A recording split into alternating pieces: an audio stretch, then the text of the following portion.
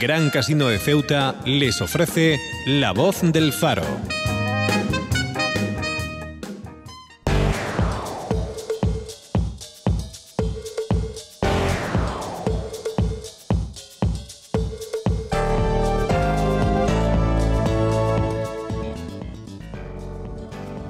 ¿Qué tal? Muy buenos días. 18 minutos que pasan de las 12 de la mañana en esta jornada de miércoles 20 de enero. Día importante hoy y mañana, tal y como habíamos anunciado. Tenemos un equipo desplegado allí en Madrid, en Fitur, en plena eh, Feria Internacional de Turismo. Es la, bueno, pues la referente dentro, la más importante dentro del sector.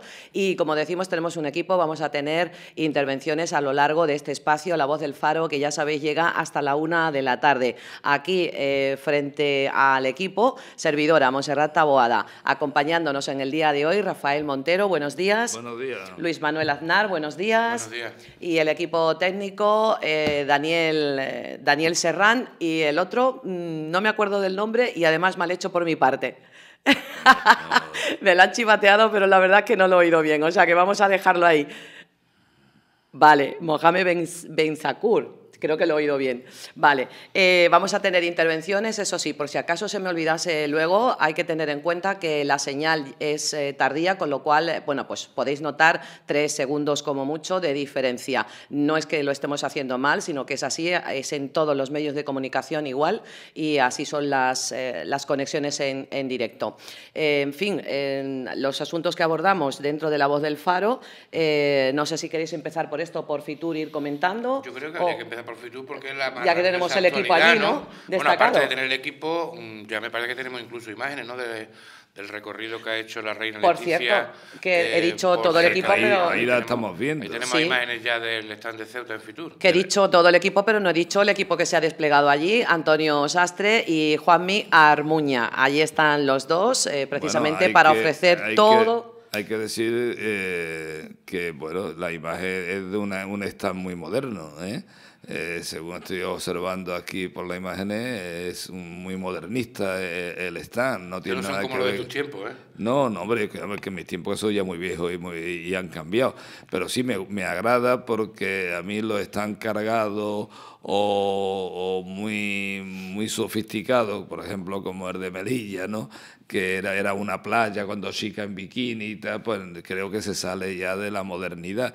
Y ese stand... Que, Podríamos decir que es un, est- un stand, eh, tal y como se denomina, muy diáfano, eh, Sí. eh, predomina el blanco. Son 157 157 metros cuadrados, está en el No, pabellón número bien. 9 de IFEMA, eh, justo eh, el- al lado de los stands de Tour España, Madrid o Galicia, entre otros, claro, porque aquello es un- una feria, como bien dice, aparte de ser un referente dentro del sector, bueno, pues no sé la Estoy- cantidad Estamos de... observando eh, la cantidad de publicaciones, de información que se ofrece allí de Ceuta. Hemos visto en este mostrador, aparte de los postes que se regalan, eh, una serie de publicaciones que son muy interesantes, que quizás incluso muchos ceutinos la conocemos, ¿no?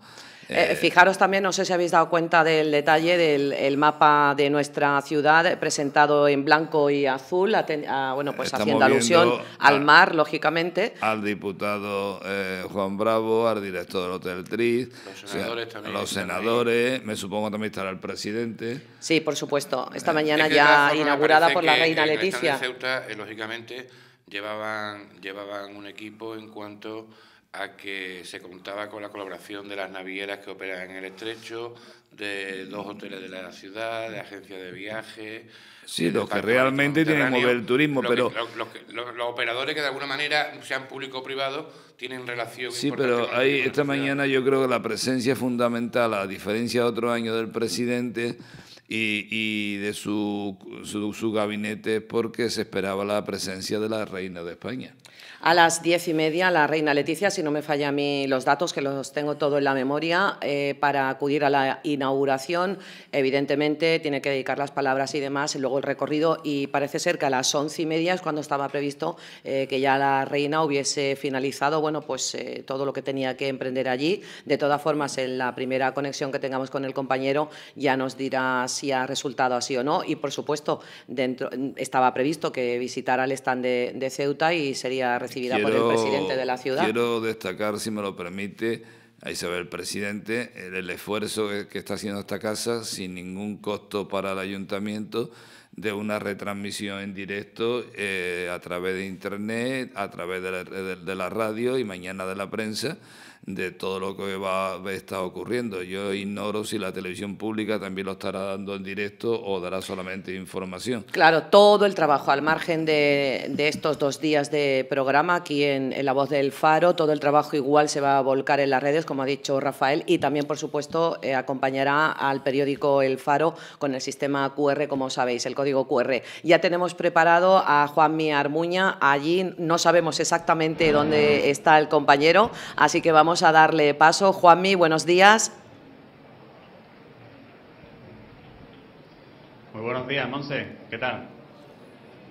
Buenos días.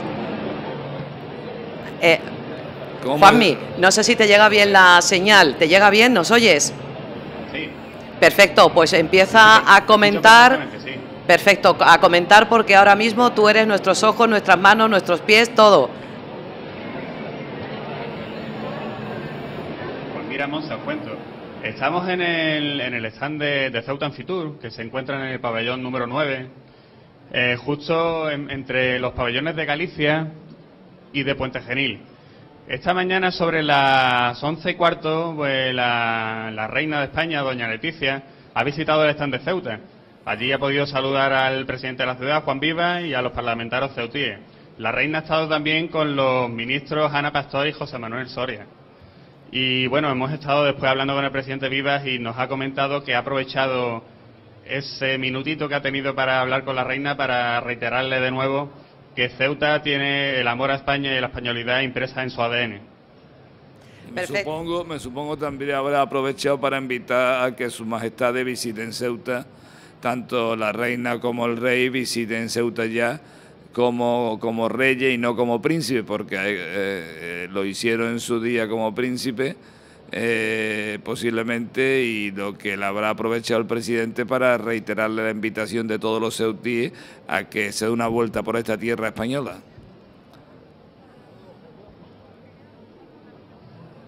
Sí, exacto, Rafael. En esa línea ha ido la conversación que ha mantenido el presidente con doña Leticia Decir también que el presidente ha tenido esta mañana la oportunidad de hablar con varios ministros y saludar a la presidenta de la Comunidad de Madrid. Y ha mantenido también una, conversación con el viceconsejero de Turismo del Gobierno de Melilla, con Javier Mateo.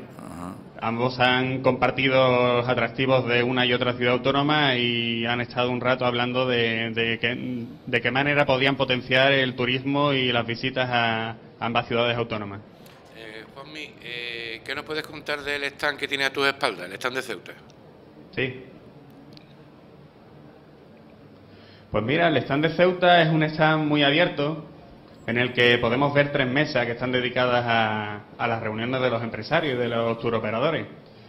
También nos encontramos con un gran eh, puesto en el que hay información, hay trísticos y hay dísticos y folletos en el que, bueno, pues se explica cómo llegar a Ceuta, cuáles son sus atractivos turísticos, la gastronomía. Vemos también un cartel del Festival Tingitana que se va a repetir este año de nuevo en el mes, en el mes de septiembre. Estamos observando, Luismi, también que hay unas pantallas. Estamos viendo ahora el, mostrador en el que se encuentra la información de Ceuta. Sí, Luis, me estamos observando que existe unas pantallas Vamos donde. A con su responsable, a ver qué nos cuentan. Es que le llega con retardo, ah, eh, eh, Juanmi. Hola, buenas. Hola, buenos días.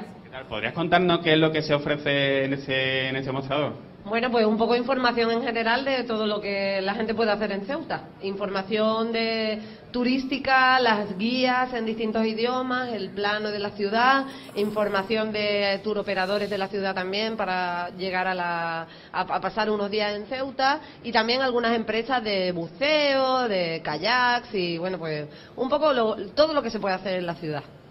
¿Cuáles son las preguntas más comunes que plantean los visitantes? Sobre todo cómo llegar, porque aunque Ceuta es una ciudad española como Madrid, hay mucha gente que no sabe que tiene que ir hasta Algeciras, coger un barco y sobre todo eso, cómo llegar. Pues mira, estoy aquí, voy a pasar unos días a mm, la Costa del Sol, ¿cómo me voy a Ceuta? Y entonces, bueno, pues le ofrecemos la, la manera, ¿no? Le contamos un poco cómo tienen que hacerlo. Muchísimas gracias. Eh, Juanmi, Eh, pe- perdona, sí. compañero Juanmi. Y aquí eh, seguimos en el stand, mientra- compañero. Mientras, Vemos sí, también que hay una gran pantalla en, el que se, en la que se proyectan pues, distintas actividades deportivas eh, que se pueden hacer en la ciudad autónoma. Anteriormente había un vídeo de Tingitana y la verdad que lo- los visitantes, las personas que pasaban por el stand, se están parando en el stand de Ceuta y están conociendo pues eso, la, la oferta turística y los atractivos que, que ofrece la ciudad autónoma. Juanmi, me parece que a tu espalda está justo el presidente de la ciudad, porque a lo mejor te podrías acercar y, y conversar unos minutos con él, si es posible. En Está justo detrás tuya. El presidente de la ciudad para que se pongan en contacto directamente Sí. con nosotros. Vamos a ir a buscarlo. Presidente, buenas. el presidente se ha dedicado a saludar en este momento. compromiso, presidente. Vamos a intentar, vamos a intentar cogerlo justo después de la conversación.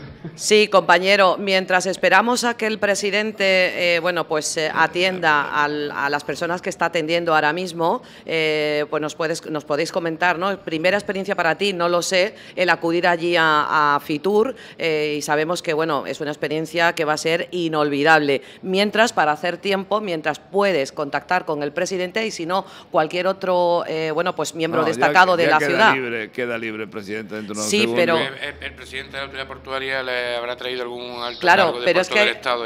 a tener en Sí. cuenta que al compañero le llega todo con mucho retardo. Si hablamos los tres a la vez es peor porque para él es un guirigay. Así que hay que hablar despacito para que él vaya recibiendo y pueda ir actuando. Todo le llega a él con retardo.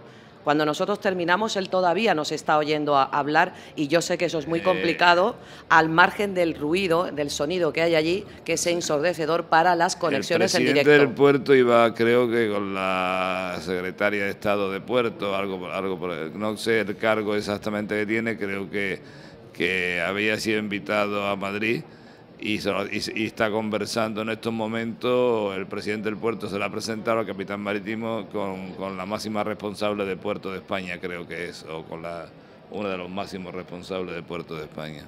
Yo creo, Juanmi, que conociendo cómo es eh, nuestro presidente, si, se- si te sitúas justo frente a él, que te vea, y eh, vas introduciendo Sí. el micrófono y dices, estamos en directo, señor presidente, Sí, estoy justo frente a Exactamente, seguro que nos atenderá porque lo entenderá. Él sabe perfectamente lo que suponen unas conexiones en directo.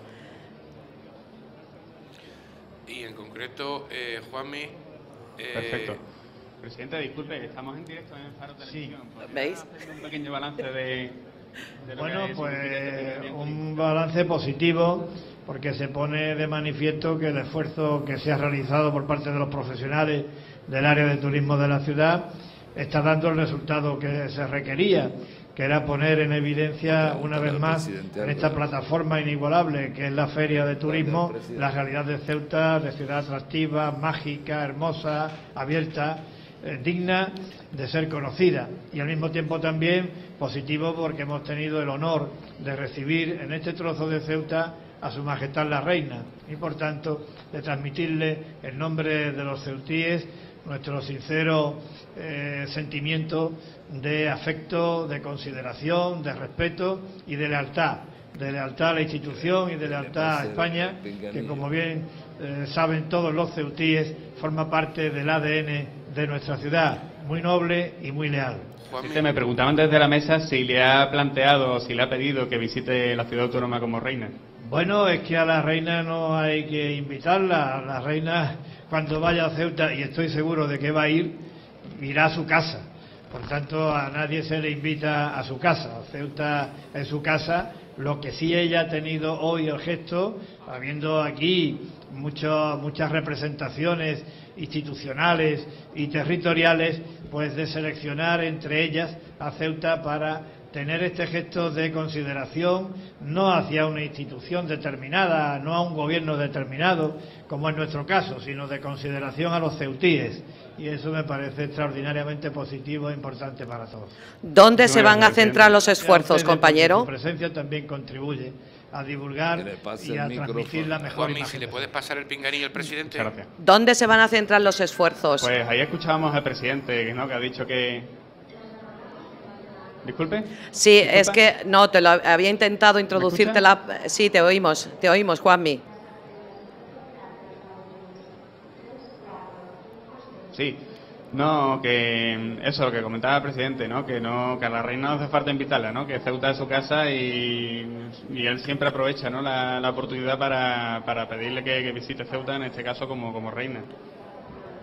Ya- Una cosa que me, que me llama mucho la atención y me gusta del stand de Ceuta es que no, no tiene puertas, ¿no? Aquí nadie tiene que llamar a la puerta porque, porque, no, tiene Ceu- en- porque no tiene puerta, ¿no? Es un stand muy abierto y que está muy a la vista de, de las personas Está que, el, que visiten eh, Luis- este Luis, pabellón número está el 9. consejero por ahí. Ahora, eh, a ver, Juanmi, mientras seguimos eh, conversando contigo, tú siempre vete moviendo, Sí. ve buscando cualquier invitado y tú tienes prioridad Sí. siempre. Aunque yo esté hablando, tú eh, tienes prioridad. El cualquiera de los que estemos aquí en la mesa, tú tienes prioridad. Perfecto. Solo que nosotros vamos hablando y a ti te va llegando nuestro sonido con retardo, pero tú tienes prioridad, ¿de acuerdo? Para cualquier invitado. Prepárate la bolsa, que sabes que Vale. todo el mundo se viene de Madrid con una bolsa llena de recuerdos. O sea que prepárate tu bolsa también. Aquí queremos recuerdos cuando volváis a, a Hemos comprado Ceuta. algunos recuerdos. Qué bonito, estábamos comentando también. Tú sigue buscando eh, A cualquier... ver si eh, podemos tener en directo al consejero. Y eh, lo dicho, el tener en cuenta el ruido, que lo sé, es ensordecedor allí, para eh, que pueda oírnos a nosotros. y Eh, los tres. Sí, perfecto. Monse, Perfecto, sí. ¿me escuchan? Te oímos perfectamente. Mira, eh, tenemos aquí al gerente de servicios turísticos, Rafael Montero. ¿Qué tal? ¿Qué tal, el Montero? ¿Qué tal? Bien, bien, muy bien. Aquí estamos eh, otro año más en, en Fitur y, y, bueno, intentando traer parte de Ceuta aquí a la capital y que, y que todo el mundo pueda ver lo que Ceuta puede aportar a- al mundo turístico.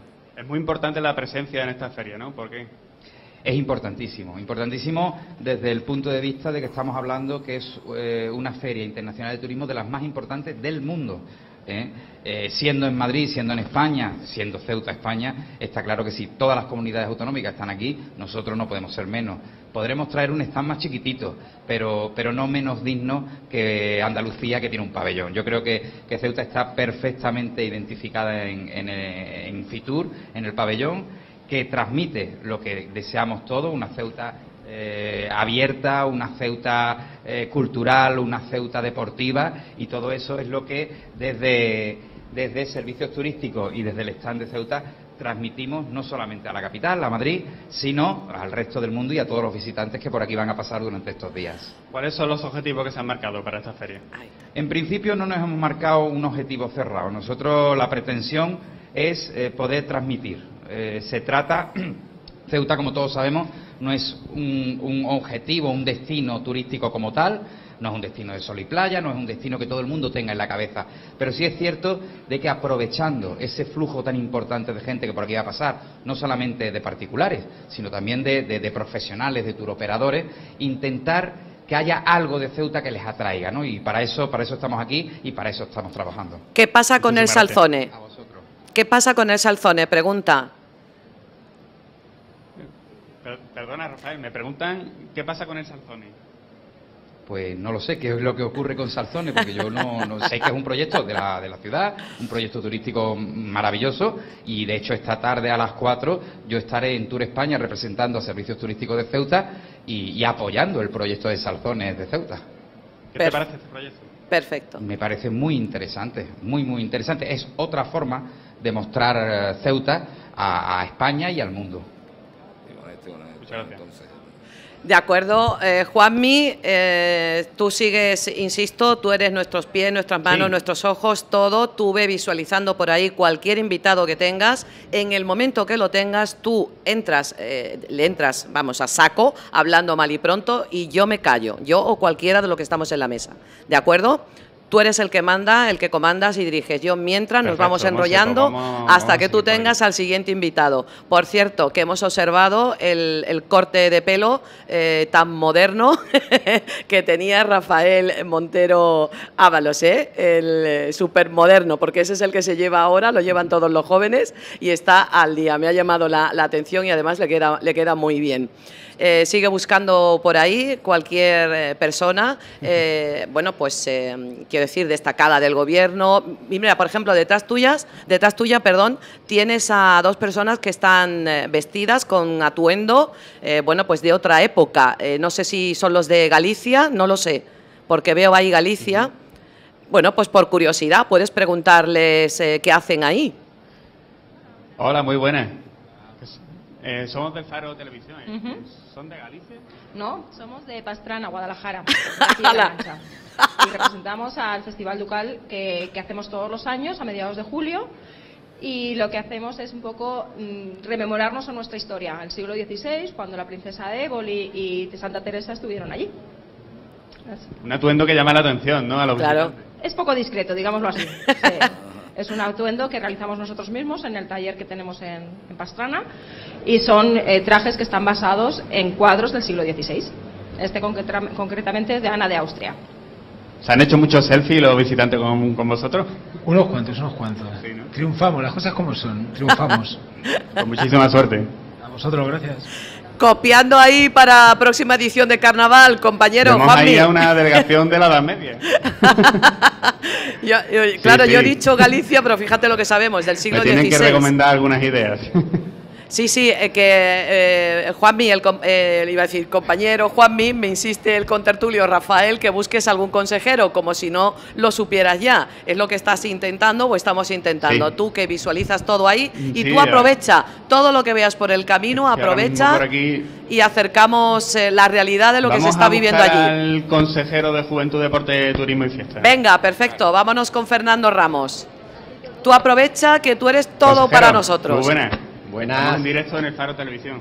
Buenas tardes, o buenos días, bueno, sí, es la una, buenas tardes ya. Bueno, ya se ha inaugurado Fitur, el gobierno tiene muchas expectativas en esta feria, ¿no? Es importante la presencia de Ceuta. Bueno, la verdad que es muy importante, bueno, más que importante es necesaria porque, como, como todos sabéis, eh, me gustaría que estuviéramos, que cambiáramos de sitio para que se viera el stand un poquito mejor, sí. ya que... Y eh, bueno, es, importante, ¿no? Es necesaria, hay que estar en Fitur porque es eh, donde están presentes todas las ciudades que tienen algo que ofrecer en turismo y Ceuta no es menos.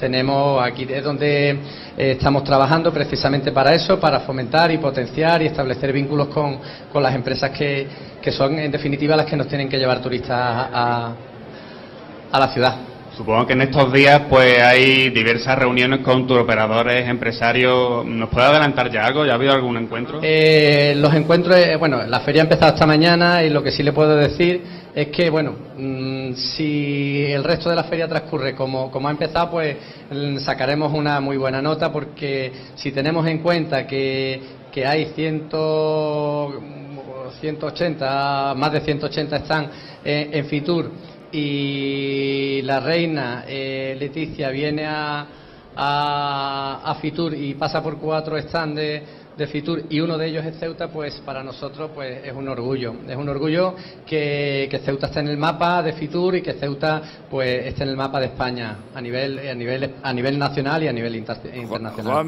¿Se han marcado algunos objetivos con la presencia de Ceuta en la feria?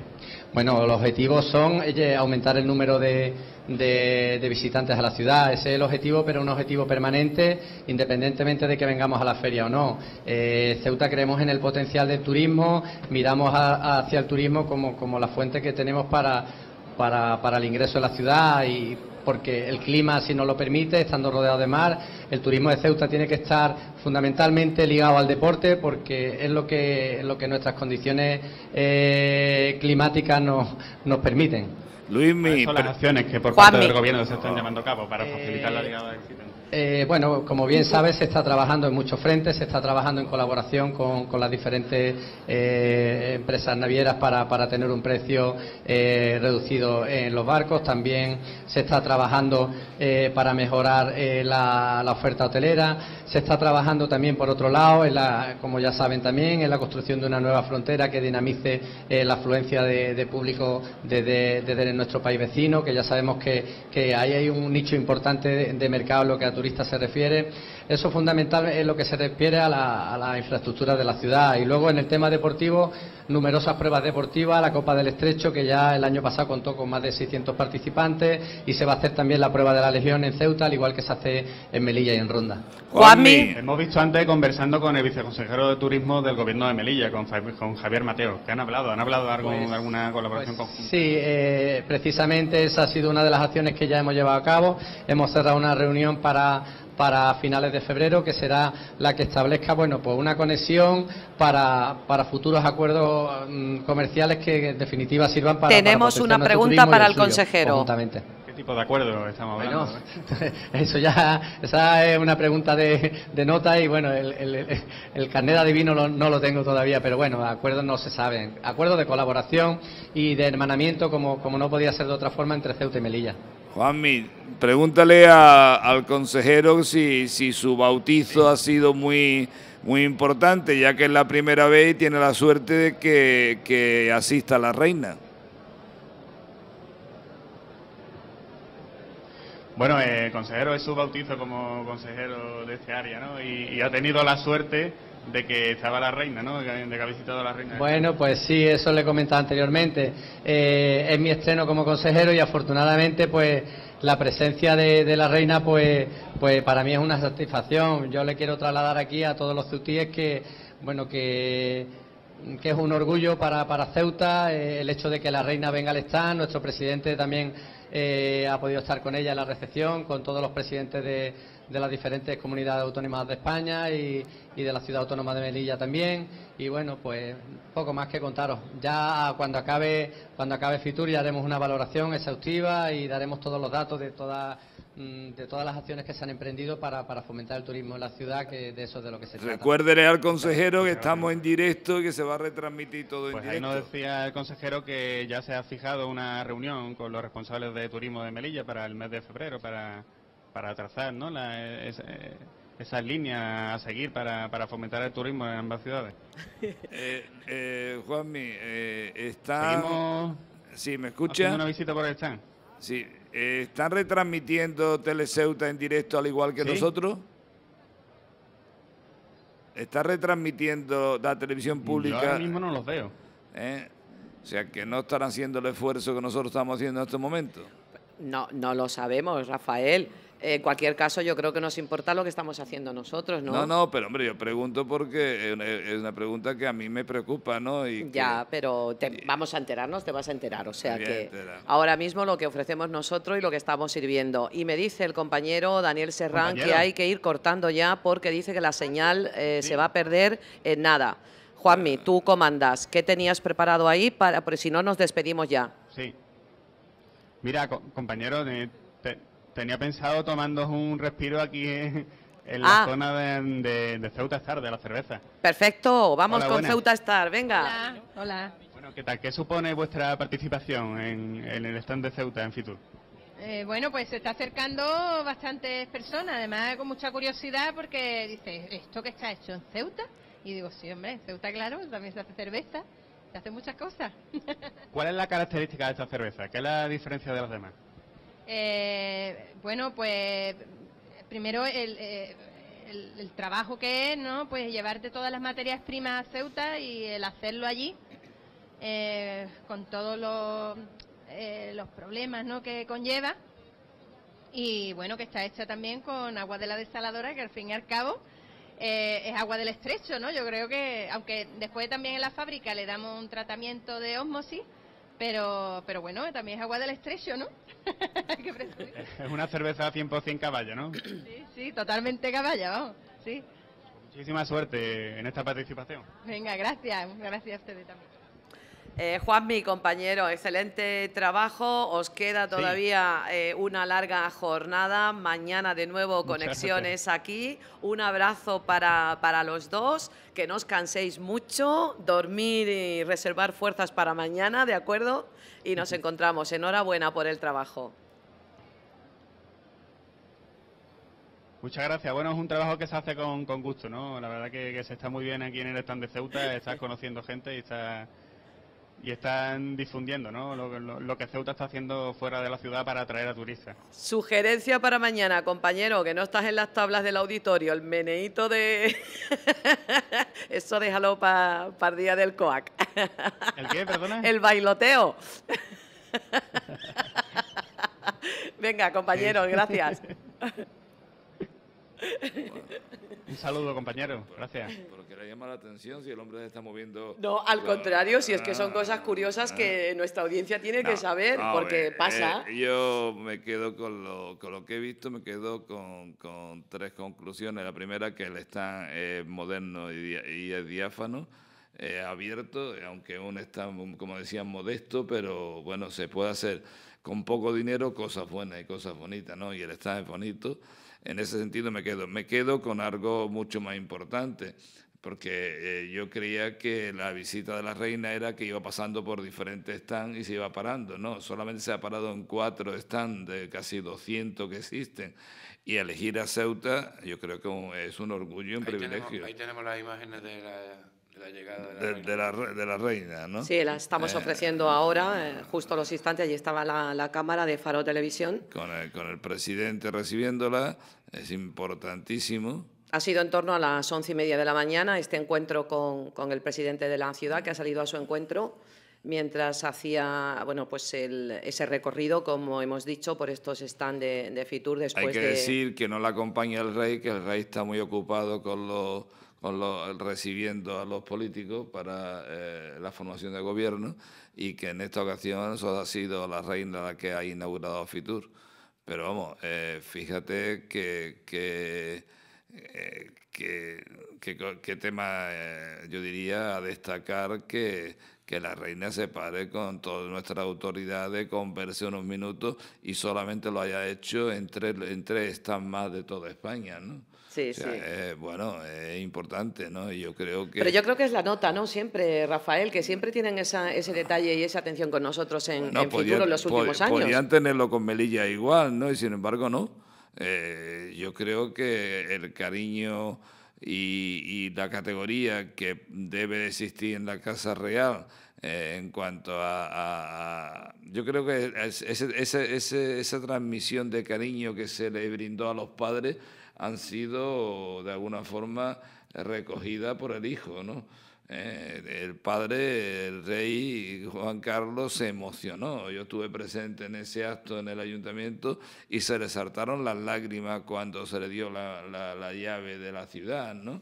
Entonces, eh, bueno, el sentimiento ese de, de- tenía muchas ganas de venir a Ceuta, sabe que no depende la visita real, no depende de, de la, de la Casa Real, sino de, la- de agenda y de las autorizaciones, entre comillas, del Estado, y, y se le vio muy emocionado cuando estuvo en Ceuta. Llevábamos ya eh, muchos años, muchos siempre, años. siempre es un miembro de la familia de- real que inaugura Fitur. Otra vez ha tocado a la infanta Cristina, sido la infanta Elena, el don Juan Carlos y doña Sofía en otras ocasiones, pero lo cierto es que hace ya Tú muchos años que fuiste, miembro de la tú fuiste Casa Real- testigo siendo muy joven junto conmigo cuando le invitamos en el 50 aniversario del Faro. ha llovido ya tuvi- tre- 31 años. Sí, 31 años que tuvimos la oportunidad de invitarle y, y él nos expresó el deseo de venir y también nos dijo con claridad meridiana que su deseo mm, tenía que ser compartido con el del gobierno en el momento oportuno. ¿no? Tardó muchos años eh, en que se cumpliera y así se lo expresé. Yo eh, tuve la oportunidad de charlar en, ese, en esas pequeñas tertulias que, que iba saludando por el ayuntamiento, pero a pesar de aquello yo vi a un rey muy emocionado porque el, el recibimiento de Ceuta fue masivo, mm, de un calor tremendo y un cariño tremendo hacia el rey. Y, y yo creo que eso se transmite en la familia real eh, y de ahí quiero interpretar de que no es casual de que elija a Ceuta entre 200 están. Ha sido, además, eh, no ha sido una casualidad, porque el desplazamiento del presidente Viva se ha debido este año a esto. O sea, el presidente Viva hace ya bastantes años que no va a Fitur. O sea, No, no, ya- si es que ha sido ha ido, avisado. efectivamente, de que Ah, la reina iba a pasar por el stand de Ceuta. No, y no, por, esta re- eh, por se, este- por se ese le ha motivo se ha comunicado al gobierno de la ciudad de que la reina tenía interés en, pararse y, visitar el stand de Ceuta. Y de ahí el desplazamiento urgente de, del presidente Viva. Si no, yo creo que no hubiera No, no, no hubiera ido porque hace ya bastantes años que no va. Que no, que no, que no va. Hace por lo menos tres o cuatro años, cinco, que no va, no pisa la feria de turismo. Bueno. pues yo creo que hemos cumplido bien hoy con ese equipo que tenemos allí destacado. Como decimos, mañana más intervenciones, eh, también en la voz del Faro. Y el poco tiempo que nos queda, escasamente 10, 9 eh, minutos, eh, da tiempo, digo yo, si dejamos de lado ya Fitur, de cualquier tema que queráis comentar de, lo que apareció hoy en el diario El Faro, el Faro de Ceuta. ¿Tenéis interés en alguno en concreto? No, yo iba a, a tocar, un, abordar un tema que ayer estuvimos hablando con el consejero de fomento, el tema de las 317 viviendas, y, y lo que tiene claro el consejero es que después de la experiencia de anteriores ocasiones o después de otra experiencia, tiene muy claro que no tiene ninguna prisa. O sea, él quiere que todos los pasos se den dentro de mm, que no haya el mínimo error Ahora mismo, por ejemplo, no sabe cuánto tiempo se va a tardar en hacer las comprobaciones de cada uno de las personas que resultaron beneficiadas en el, en el sorteo. Después de eso se abrirá un periodo de alegaciones eh, a la lista provisional. Se confeccionará otra lista definitiva, habrá un nuevo periodo de alegaciones y el cálculo, fíjate tú, la fecha que da para la entrega de las llaves. Habla entre Semana Santa y el verano. Se estaba hablando de un periodo de tres meses. No quieren ningún problema. No, yo creo que el consejero ha, salido, ha salido escardado porque recién llegado le tocó la papeleta esta, nada desagradable. Y como jurista que pues quiere dar los pasos legales y que nunca tenga un problema por, adelantar la fecha una semana, por ejemplo. ¿no? Hombre, hay que cumplir los plazos, eso está claro. Pues, y, bueno, me parece bien, me parece bien, aunque la necesidad de la, entrega de vivienda es eh, muy importante que no haya ni un solo descontento, ni una sola duda, que es lo que pretende el consejero, que es lo que se transmite hoy en, las declaraciones de ayer y en las páginas del Faro de hoy.